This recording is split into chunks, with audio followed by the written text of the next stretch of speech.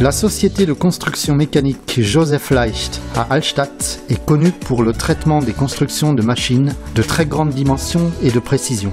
Pour assurer le traitement par grenaillage des plaques en acier grandes et lourdes, nous, chez Actos, nous avons choisi de construire une grenailleuse verticale.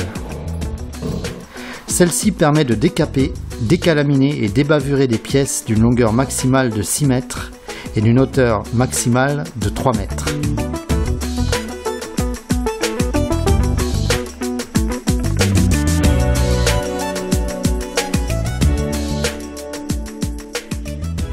Pour commencer, les plaques sont placées sur la table basculante au moyen d'une grue.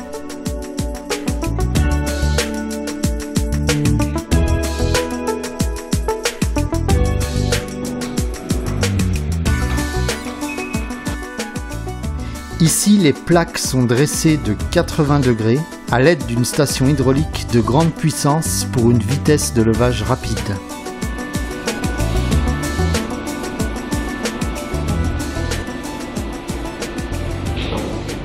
Maintenant, l'opérateur peut démarrer la ligne de rouleau d'entrée. En arrivant au sas d'étanchéité, les turbines sont déclenchées automatiquement.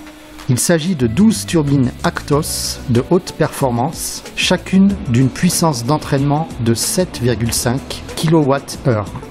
La vitesse de l'avancement de la ligne à rouleau est réglable de 0,5 à 2,5 mètres par minute.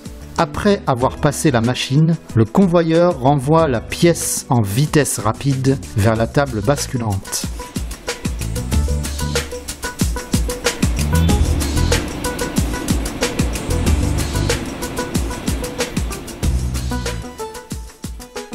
Maintenant, la table basculante se met en position de déchargement.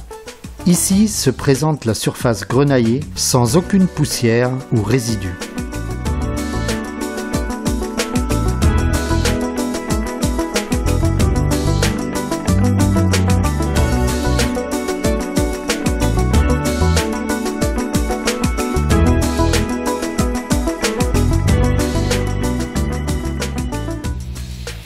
La grenailleuse elle-même est couverte par une enceinte d'insonorisation.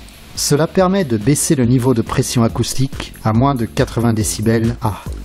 Sur chaque côté, six turbines sont positionnées à différentes hauteurs avec des angles décalés de sorte que toutes les surfaces et les arêtes de coupe soient nettoyées en règle générale. Sous l'enceinte, la grenaille d'acier est récupérée et, à l'aide des vis sans fin et de l'élévateur à godet, elle est transportée à la station de nettoyage et puis à la trémie de stockage qui se trouve en partie haute de la machine. Les plus grosses particules peuvent être retirées par tamisage. Les particules de grenaille fine et les poussières sont séparées par l'unité de filtre à cartouche. Ensuite, elles sont collectées dans des big bags. Cette unité est nettoyée pneumatiquement en continu. Elle est aussi couverte par une insonorisation. L'air d'évacuation peut être reconduit dans l'atelier car la quantité de poussière résiduelle est de moins d'un milligramme par mètre cube. Selon la construction, il est possible que quelques pièces nécessitent un deuxième tour de grenaillage.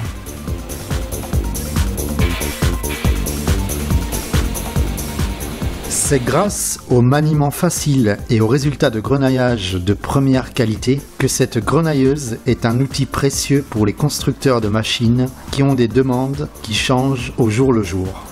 La grenailleuse verticale Actos est d'un concept convaincant pour les grandes pièces lourdes. Que peut-on faire pour vous?